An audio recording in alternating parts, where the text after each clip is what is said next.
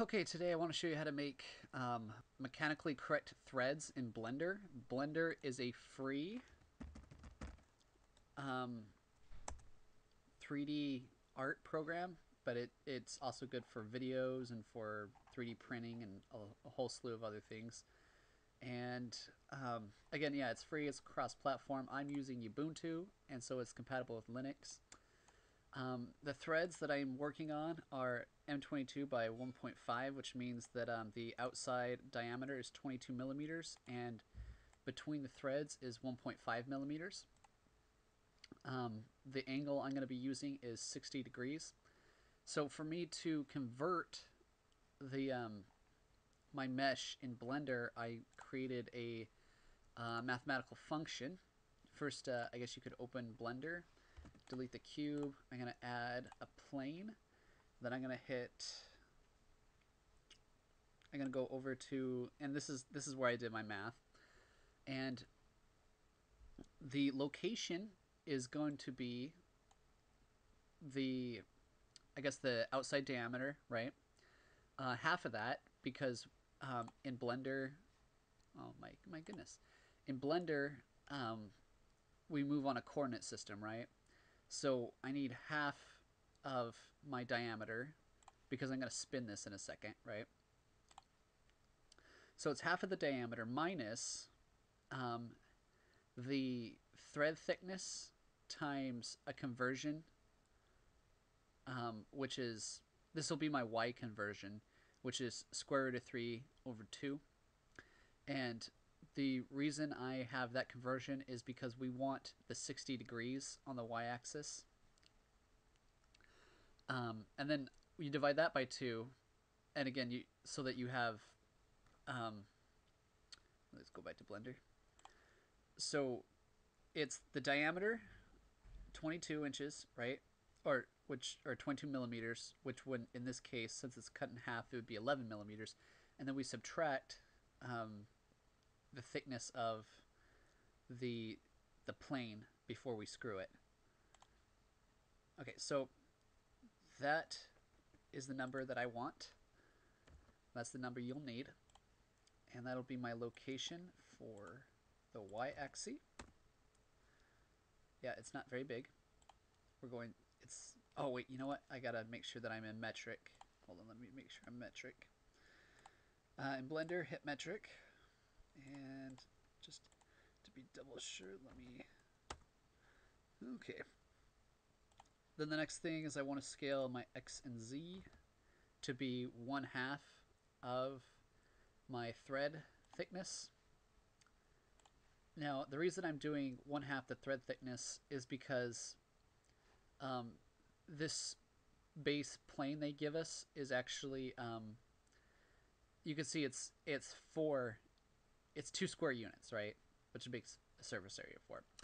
Um, but we need to shrink that in half for it to be one square meter, which is the units that we'll be using. So on the scale, I'm going to hit, uh, do that for X and Z. For Y, I'm going to be using this, which is uh, half of that. Wait, what is the, uh, oh yeah, that's right. And here's my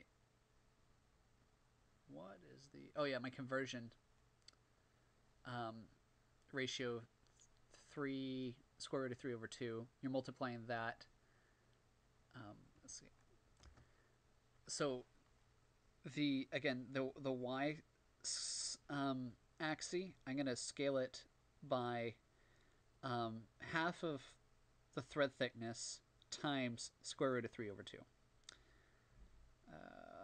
Because again I want 60 60 degrees. Okay. So if I oh I have clipping. So you want to open this tab and let's make sure that where's the view? Uh, not centimeters millimeters? Yeah that should work. There we are. You want to make sure that your clipping is uh, your camera clipping is small enough to be compatible with your dimensions. Okay now with that being said I'm gonna hit 7 5 I want because you want to be in top orthographic. I'd hit the uh, decimal button, tab into edit mode, or you can graphically select edit mode.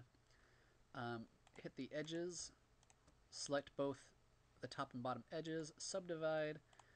Then we're going to hit, go back into vertice mode, hit the knife. There we are. And make sure that you are selecting the right edges. I'm going to hold shift and select these two faces and delete them. Delete faces. Okay. And then I am going to hit Control Alt or Control A, sorry. I'm going to select location, rotation, and scale. And each time I did that, I, I hit Control A. Okay, now I'm going to select these bottom two edges and I'm going to hit E for extrude, Y to constrain it on the Y axis. I'm going to pull it down a good length. Um, then I'm going to select the cross inside and these two edges and hit delete edges. Now in object mode, again I'm going to make sure that um, this is 0, these are 0, and this is 1. So now I'm going to hit add modifier, screw. I'm going to make sure that I'm going around the y-axis. Oh, oh x-axis. I apologize. And my screw, um, it's got to be, is it one? Hold on a second. Uh, screw screw pitch, 1.5. Is that is that what I'm looking for? Yeah, that's it. So my screw pitch is the thickness of my my threads and I'm going to increase my steps up to 80 because I like high definition threads. These are these are actually going to be threads. Like I'm literally going to 3D print these. Like I don't have time to waste on on low graphics or well, let's do 100 actually cuz I honestly am cool with that. Okay, now um, in my actual threads, I have five iterations. Um, I honest, I could go more, but five works for me. It's what they did, so it's what I'll do. I'm gonna save this real quick. I'm gonna save it on my desktop as screw perfect with an underscore because I'm a Linux lover.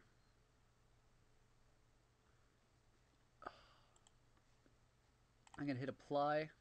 Make sure you're in object mode when you apply. Let's go back to edit mode. Hit A to select everything. Then hit remove doubles.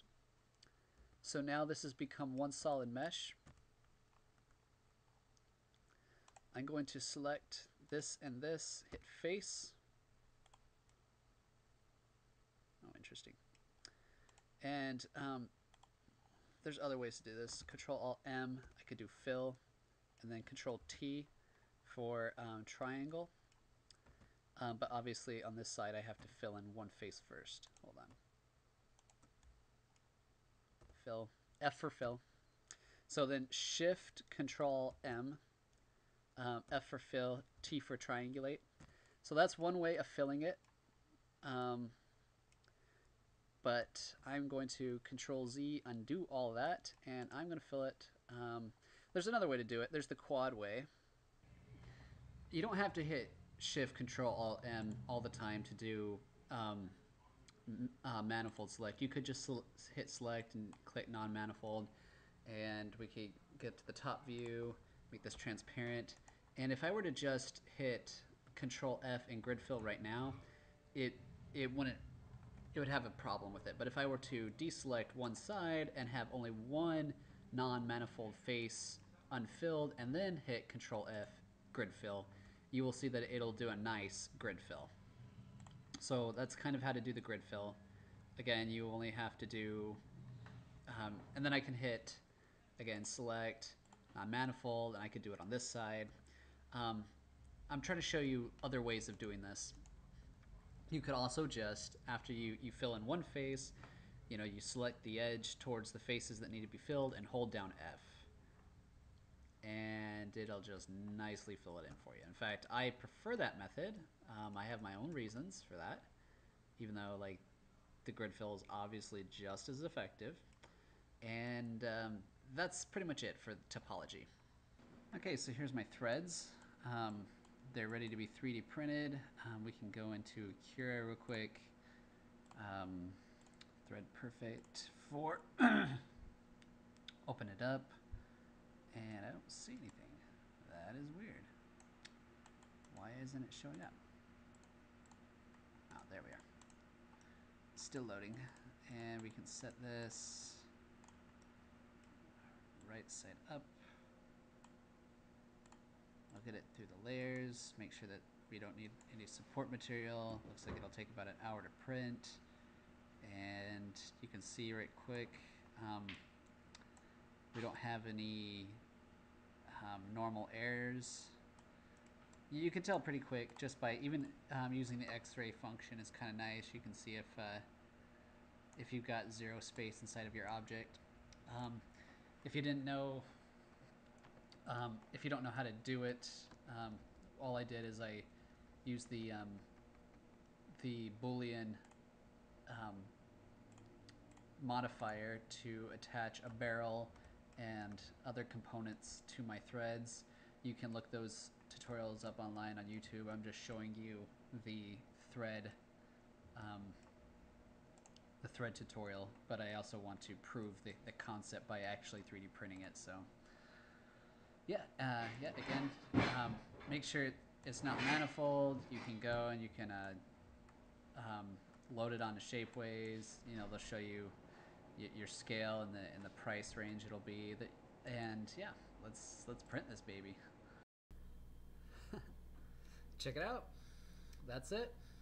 3D printed it tonight at HeatSync Labs. Um, I think it was a 100 micron resolution.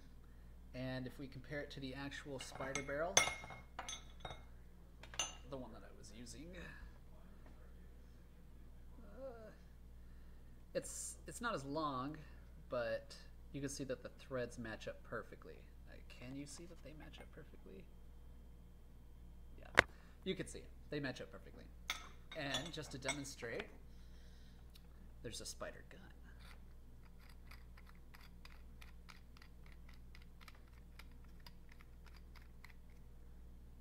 And that's solid.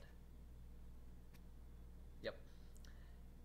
So that's beautiful. Yep, that's that's what threads are all about. They have to screw into something, and it just so happens too that this particular where'd my paintball go?